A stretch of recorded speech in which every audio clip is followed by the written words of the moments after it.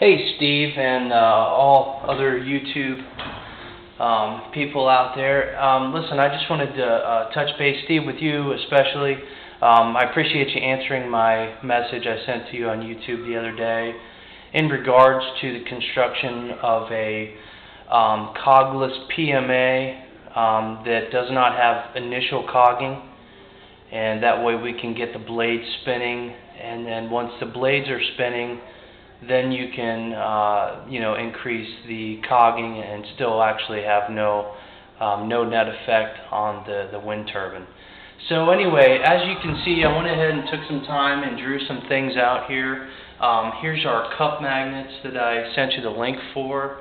And here's the internal magnet and, of course, the outer structure of that assembly. And obviously, cup magnets, um, the reason why I kind of looked at those because they're fairly inexpensive for what they are. They're very strong, uh, like the ones I sent you the link for. I think they're like an 80 pound pull force. And the magnetic field, as you know, is pretty collimated, it's pretty uh, condensed, and there's not much leakage flux. So uh, basically, I, I'm under the impression, I believe, that the flux would be concentrated mainly right on this face here. And of course, as you are probably aware, that's why when you put a piece of metal in front here and it sits on top of the magnet and the outer shell of that cup magnet assembly, it pulls the, the uh, piece of steel close to this area here because it allows it to complete the, uh, the magnetic flux um, circuit there, the magnetic circuit. So, you know, obviously a few questions come up. Um, the reason why I like the cup magnets, like I mentioned, is uh, extremely intense field. They're small, they're lightweight, um, they're fairly inexpensive, and it's something I can easily adapt to my existing wind turbine.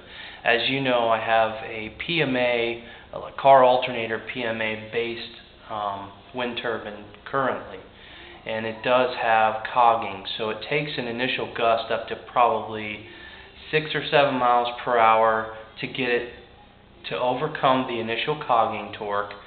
And then once it's rotating, it takes a wind of probably about 2.2 to 2.5 miles an hour just to overcome the cogging torque.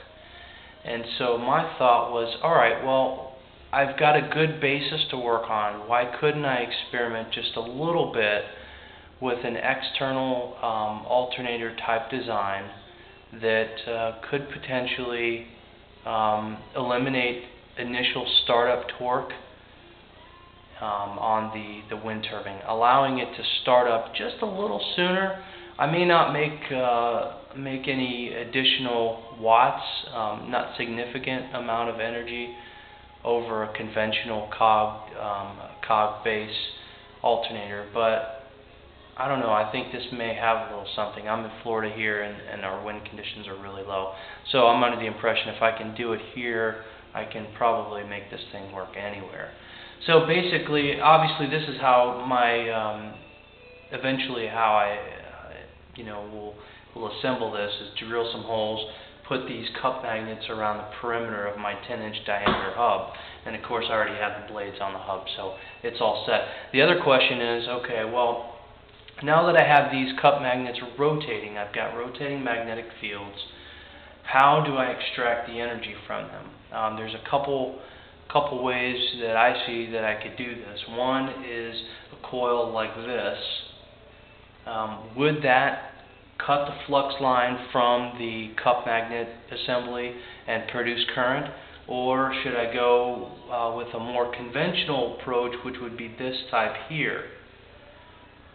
And what I'm thinking, um, thinking back to other electromagnets that I've seen, even cup-based electromagnets, I see that this design probably will be the one that I end up going with.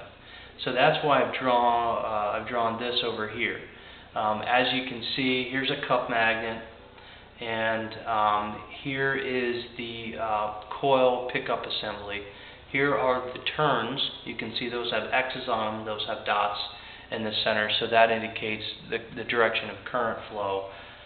And I've also drawn this so that I can pull this metal core in and out of this coil, which means that theoretically at less than, you know, a few RPM, I can pull that core out.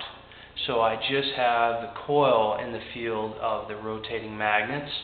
So I eliminate cogging, and then once the RPM goes above a set point, I can have something that will push that, um, go ahead and push that core back into the magnetic, uh, push it back into the coil assembly. And that will couple the magnetic flux between the cup magnet and the coil pickup assembly. And so that'll increase voltage and allow me to extract the maximum amount of energy from my wind turbine blades. So anyway, I figured, um, you know, it's sometimes difficult to write everything in an email or a message, but obviously a picture is worth a thousand words. And so um, this is a couple things I wanted to draw out for you to kind of get the point across somewhat and kind of pick your brain um, a little bit and see what your thoughts were.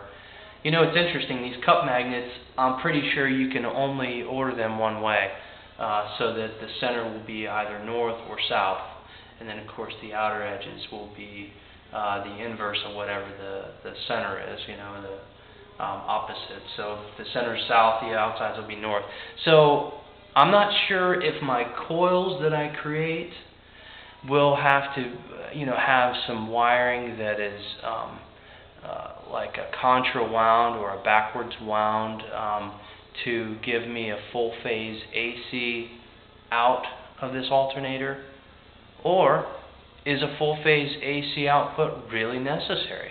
Will I be okay with using magnets that have the same pole faces um, and produce just a pulsating um, DC output? So those are a few questions that uh, that you may have some insights on, or others. So uh, anyway, hey, listen, I appreciate you taking the time to look at this, and uh, we'll see where this goes. Maybe this comes out uh, to be a, a decent design, and mechanically I can come up with a way to pull that core in and out, so we can couple magnetic flux and basically do away with the cogging torque.